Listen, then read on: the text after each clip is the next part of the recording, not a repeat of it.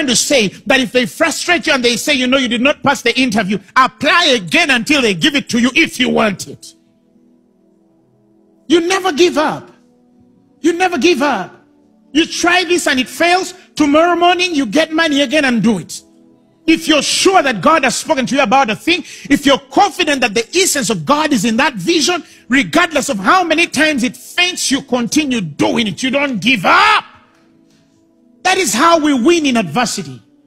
You don't draw back to perdition. No, we are them that hold and believe to the saving of the soul, to the miracle. We stick on that thing until it works.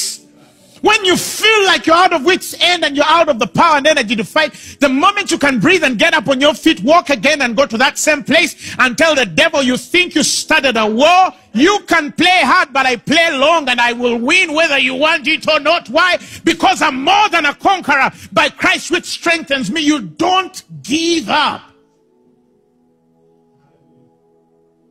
But regardless of what happens in Antioch, regardless of what happens in Iconium, regardless of what happens in all these places, Paul keeps the course. But the worst damage of adversity was Lystra when they beat him and they were sure that this man was dead. When he goes back to Lystra,